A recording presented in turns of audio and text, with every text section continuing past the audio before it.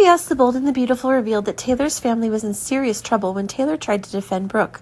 For Taylor, Brooke has now become a close friend and she doesn't allow anyone to offend Brooke. Ridge and Thomas felt the pact between Taylor and Brooke was meaningless. Why would Taylor swear she would never go back to Ridge when they were family? They thought Brooke and Taylor's pact was nonsense and Taylor could just forget about it. Still, Taylor's adamant about what she promised Brooke. She wouldn't betray their pact. Although Thomas and Ridge had a very harsh attitude, Taylor was determined not to care. The battle between the two sides gradually becomes tense. Thomas didn't understand why Taylor chose to stand up for Brooke when he was her family. Meanwhile, Paris is growing tired of life in America. She felt the place was too stuffy for her to relax. Paris also repeatedly encountered failure in love affairs. This place was filled with painful memories, so she wanted to leave as soon as possible. She decided to return to her hometown of London.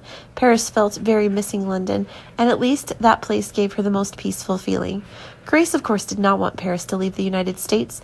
Zoe has also left here. Grace has only one daughter close to her, but Paris continues to want to return to London, making her very disappointed.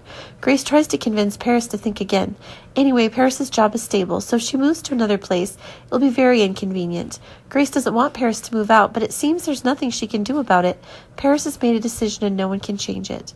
Elsewhere, Hollis still hasn't given up on pursuing Brooke. He was really attracted to a woman older than him and couldn't get away.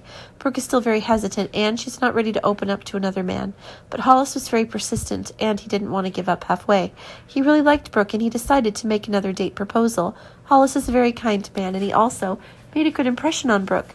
But will Brooke agree to Hollis's dating offer? Hollis had absolutely no intention of forcing Brooke. He just hoped she would give him a chance to express his feelings. He believed that as long as Brooke had more contact with him, she would develop feelings for him. Brooke may have begun to open up a bit more to Hollis, but Ridge was still a man she could hardly let go of. What will Brooke have to do in this dilemma?